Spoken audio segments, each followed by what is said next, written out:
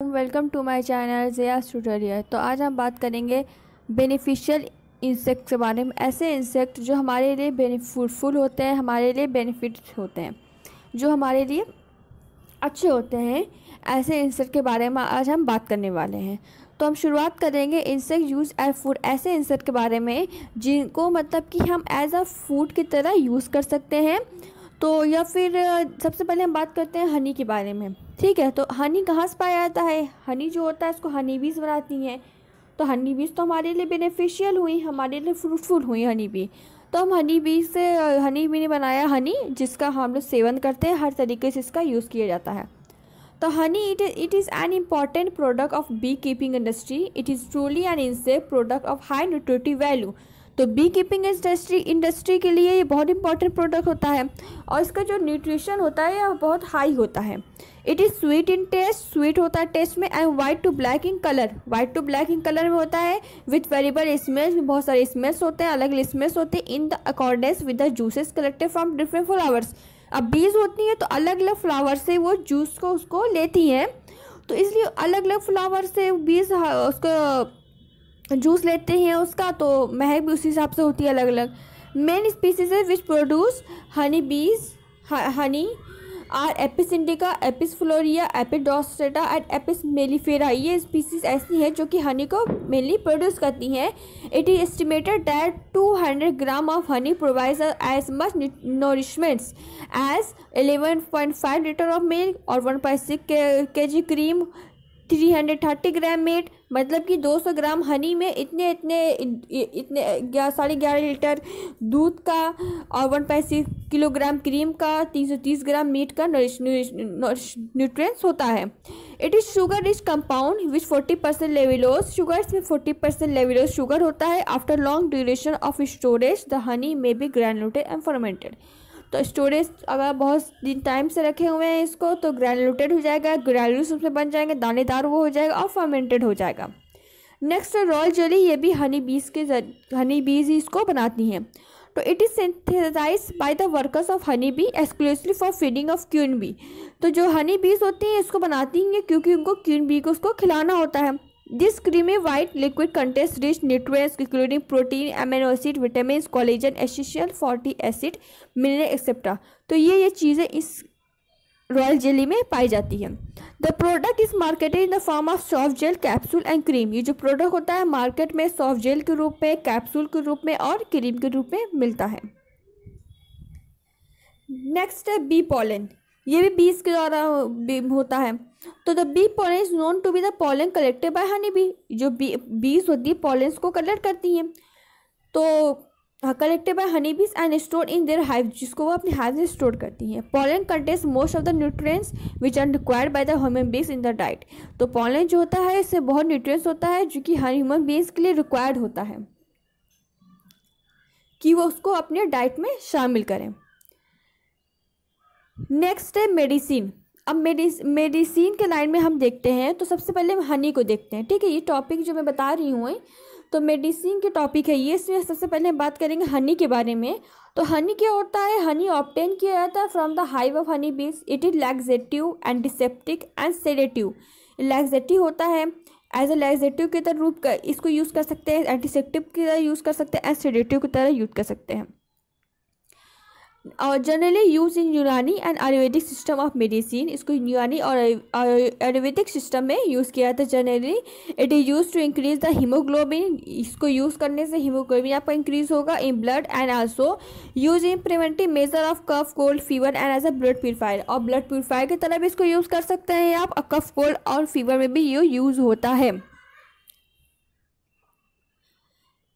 Next है कैंथेराडाइन। कैंथेराडाइन क्या एक तरीके का फैटी सब्सटेंट है? एक तरह का ये फैटी सब्सटेंट होता है। इट इज़ ऑप्टेन इसका इसका ये ओडोलेस होता है। It is obtain from the body of blister beetle blister beetle की बॉडी से ऑप्टेन किया जाता है। ब्लिस्टर बीटल जो होता है, ये प्लांट फीडिंग इंसेक्ट होते हैं। If taken internally it acts a strong urogenital irritant therefore use at the aphrodisiac if taken internally it act as a strong urogenital irritant urogenital irritant की तरह ये काम करता है, अगर इसको इंटरनली हम लेते हैं। Therefore it use as as aphrodisiac aphrodisiac की तरह इसलिए इसको यूज़ करते हैं। एफ्रोडिसियक एक लव ड्रग होता है, इसमें चॉकलेट एवोकाडो चिली पेपर ये सब एफ्रोडिसियक में आते हैं। Being dangerous it it is no longer use in human being तो बिंग डेंजरस के होने की वजह से इसको ह्यूमन बिंग में इतना यूज़ नहीं किया जाता है। इससे यूरोजेनेटा इरिटेंट्स हो जाता है। यूरोजेनेटा एयरटेंस आप समझ सकते हैं यूनिट ट्रैक ये सब में इरीटेशन हो जाती है। तो जलन वगैरह होती है।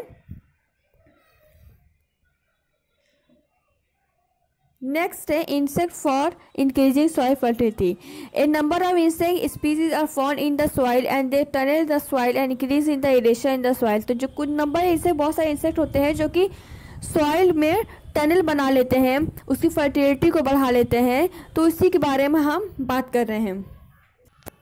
They feed on decaying agriculture debris जो कृषि के जो मलबे होते हैं, उसको ये खाते हैं and excrete in the soil और सॉइल में एक्सक्रीट करते हैं।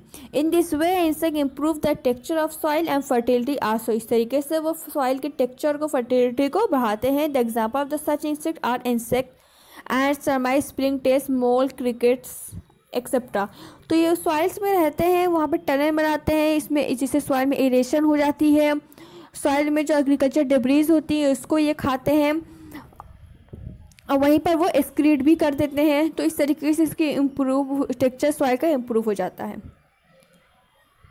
नेक्स्ट अदर इंसेक्ट प्रोडक्ट्स तो इसमें सबसे पहले the insect produce some other products which are useful for human being they are as under तो कुछ इंसेक्ट के बारे में ऐसे बात करेंगे जो कि ह्यूमन के लिए ह्यूमन बींग्स के लिए यूज़फुल होते हैं। तो सिल्क हम देख सकते हैं silk is a it is a pastry secretion of the silkworm produce by the silkworm secretion होता है जो कि सिल्क वार्म से द्वारा प्रोड्यूस होता है by the silk warm produce होता है। The silkworm species generally use in sericulture industry are Bombyx mori Antheraea paphia Antheraea assama Attacus ricini या फिर ओक सिल्कवार्म इस तरीके से अलग अलग सिल्क वाम के ये स्पीसीज़ हैं तो सिल्क वाम से पेस्टी सिक्रेशन सिक्रेट होता है, जिसको हम सिल्क को हम कपड़े बनाने में यूज़ करते हैं तो इस तरीके देखा जाए तो सिल्क हमारे, सिल्क वाम जो हमारे यूज़फुल हुआ, ये इंसेक्ट हमारे यूज़फुल हुआ, क्योंकि इसने हमें सिल्क दिया। नेक्स्ट है bee wax bee wax is useful by product of bee keeping industry it is yellowish to grey brown in colour and insoluble water अब बी वैक्स क्या होता है? जो बीज होती है बीज वैक्स भी प्रोड्यूस करती हैं। तो जो बी वैक्स होता है yellowish to grey colour brown colour में होता है। और बहुत यूजफुल होता है। और वाटर में ये इंसॉलिबल होता है। But completely soluble in ether it is use और लेकिन ईथर में ये कंप्लीट सॉलिबल होता है।